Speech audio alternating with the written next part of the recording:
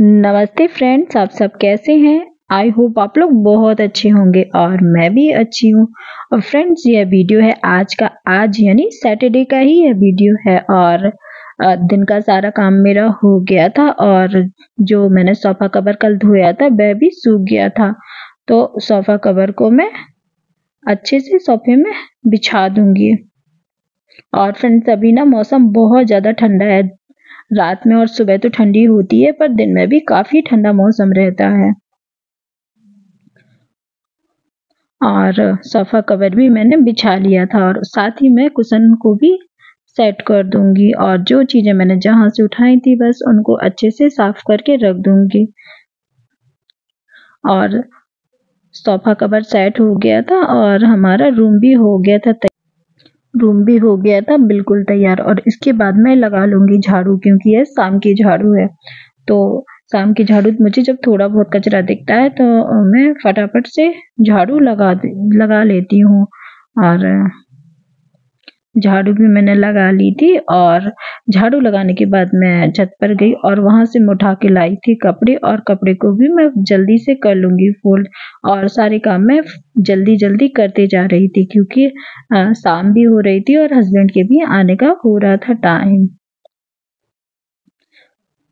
कपड़े भी फोल्ड होते जा रहे थे और हस्बैंड भी आ गए थे।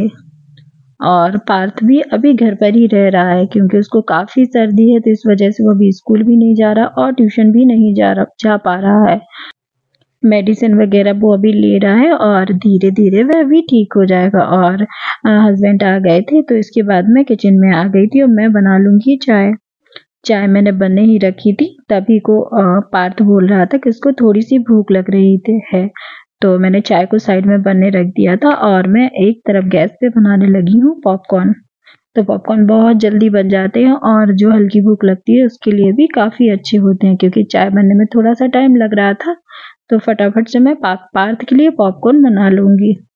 पॉपकॉर्न के लिए मैंने कढ़ाई में घी गर्म होने के लिए रख दिया था और उसमें मैंने थोड़ी सी हल्दी ऐड करी थी और और जो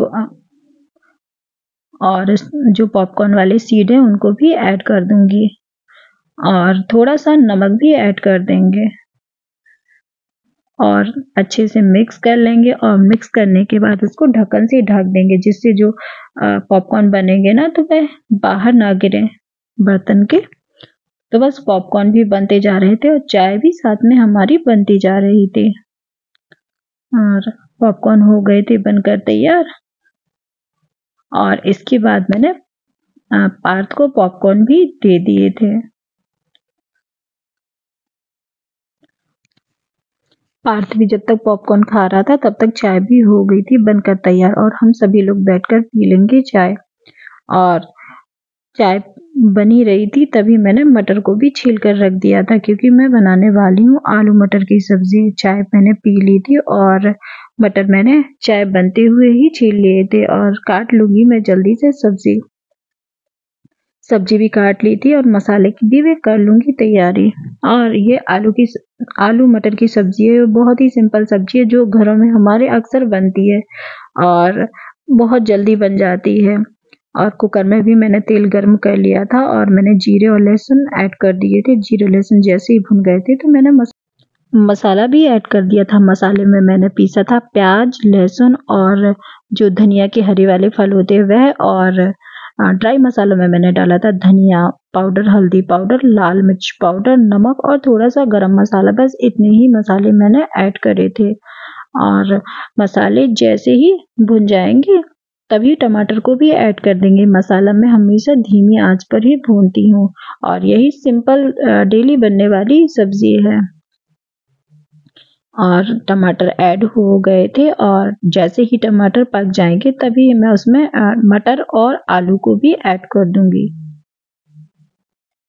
आलू मटर भी ऐड हो जाएँगे और मसाला हो गया था भुनकर तैयार और मैंने सबसे पहले मटर को ऐड किया था। मटर मैंने थोड़ी देर आ, मिक्स की थी और मिक्स करने के बाद थोड़ी ही देर में मैं जैसे ही आ, मसाले और टमाटर वो पक जाएँगे तभी मैं आलू को भी ऐड कर दूँगी।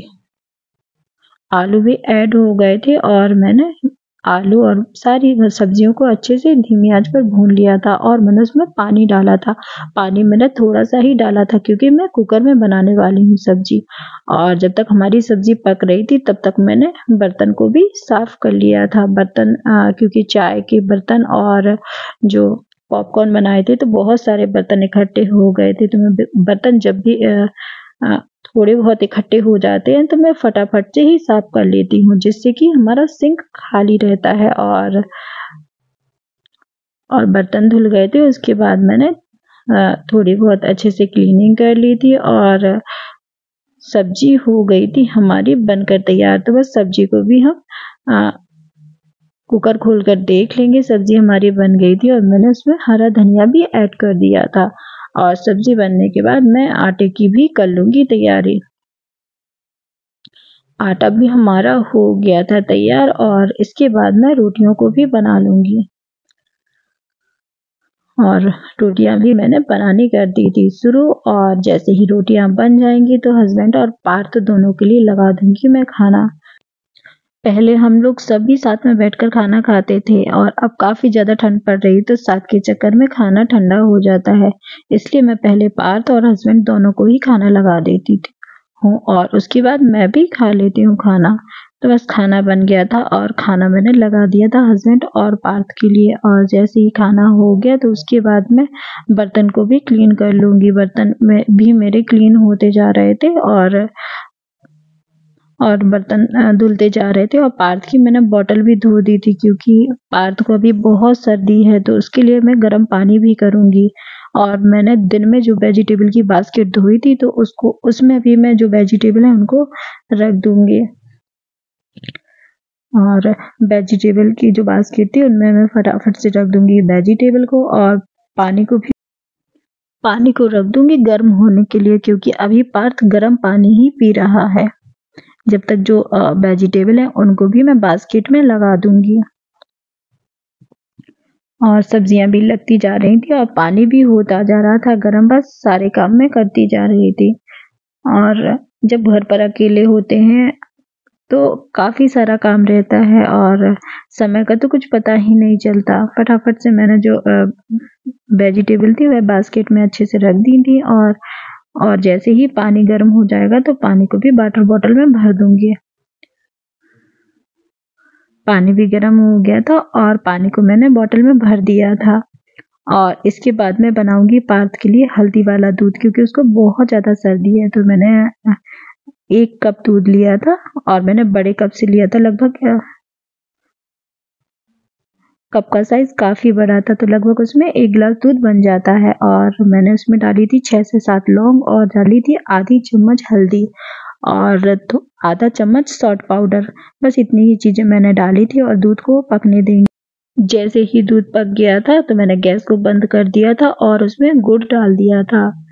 और दूध को मैंने कप में भी डाल दिया था, क्योंकि दूध को गरम गरम ही पीना है, उससे ही आराम मिलता है। दूध कप में डालने के बाद मैंने पार्थ को दूध दे दिया था और मैं कर लूँगी किचन की क्लीनिंग किचन क्लीनिंग हो जाएगी, उसके बाद में जो दूध वाले बर्तन है ना, उनको भी धो लूँगी। तो फ्रेंड्स सारा दिन ऐसे ही काम में निकल जाता है, समय का कुछ भी पता नहीं चलता कि और फ्रेंड्स आज का वीडियो आपको कैसा लगा? अगर आज का वीडियो आपको पसंद आए तो प्लीज़ लाइक शेयर और सब्सक्राइब करना बिल्कुल ना भूलें। और चैनल पर नए हो तो चैनल को भी सब्सक्राइब करना ना भूलें। और आपके जो लाइक्स होते हैं तो उनसे मुझे बहुत ही मोटिवेशन मिलता है। तो प्लीज़ मेरे चैनल को ज़रूर सब्सक्राइब कीजिए। Thank you for watching